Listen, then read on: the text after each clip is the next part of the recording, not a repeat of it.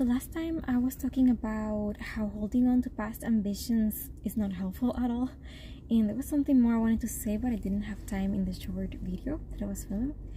So, what I wanted to say was that when we hold on to past ambitions that we have outgrown, we're adding unnecessary pain to our lives because we're denying ourselves of experiences and opportunities that are more aligned with the person we have become and our reality. And yeah, sometimes we need to let go of something that the past version of ourselves loved a lot in order to evolve and grow into the best version of ourselves. We don't really need to like leave a past ambition forever. We can include it in our in our daily lives, and it doesn't have to be, you know, all consuming of our person.